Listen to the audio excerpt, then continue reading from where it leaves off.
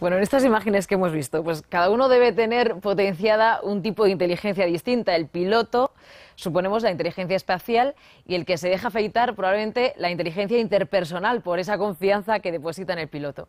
Hoy en día todos tenemos asumido que no hay una sola inteligencia, sino que hay múltiples inteligencias, pero quien desarrolló esa idea, las enumeró y las definió fue Howard Gardner, que hoy ha ganado el Príncipe de Asturias de las Ciencias Sociales. ¿Eres tonto o algo parecido? Mamá dice que tonto es el que hace tonterías. Si algo aprendimos de Forrest Gump es a no menospreciar las capacidades de los demás. Y la que nos enamoró de él fue sin duda su habilidad para relacionarse, para hacer amigos.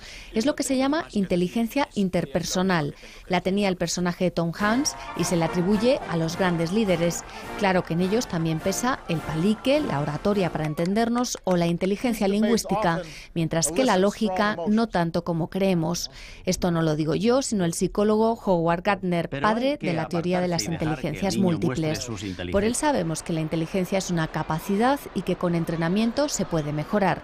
También que no hay una, sino muchas inteligencias, ocho capacidades cognitivas al menos en cada uno de nosotros. La idea es encontrar algo que le guste al niño, que encuentre interesante y en lo que pueda mejorar. Esto es lo que a menudo llamo una experiencia cristalizadora, en que el niño se enamora de aprender y dice, es maravilloso utilizar la mente. Y además es divertido. Descubrir cuáles son nuestros potenciales es solo el comienzo del aprendizaje, por eso a Gardner le deben mucho aquí, en las aulas. Él revolucionó el modelo educativo. Su apuesta, la escuela inteligente, que no es sino la de una educación personalizada que tenga en cuenta las habilidades innatas de cada niño. Pero 30 años después y en la era de la información, mucho han cambiado las cosas. Creo que las escuelas corren el riesgo de convertirse en anacrónicas muy rápidamente. Mucho de lo que se aprende en la escuela se puede aprender en el Internet o con un móvil en la mano, a menos que las escuelas puedan encontrar una ventaja competitiva en lo que no puede ser averiguado por el Internet o el chivato de mano, desaparecerán. Y poco parece importarle a quien sabe que el aprendizaje no acaba en el aula, porque la inteligencia es mucho más que una cuestión de cociente intelectual, es una habilidad que se desarrolla durante toda la vida.